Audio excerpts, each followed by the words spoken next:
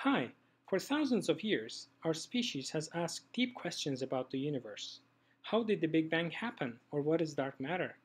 Well, in order to answer such questions, we need to test our models against enormous astronomical datasets, whose analysis and interpretation are major computational challenges. And this is where my research becomes crucial. In a recent work, we developed a novel statistical framework to analyze telescope images to study even the dimmest, barely visible stars and galaxies. This is a fast and accurate algorithm that is made available for the use of the astronomical community. By the way, you may be wondering what the number below corresponds to.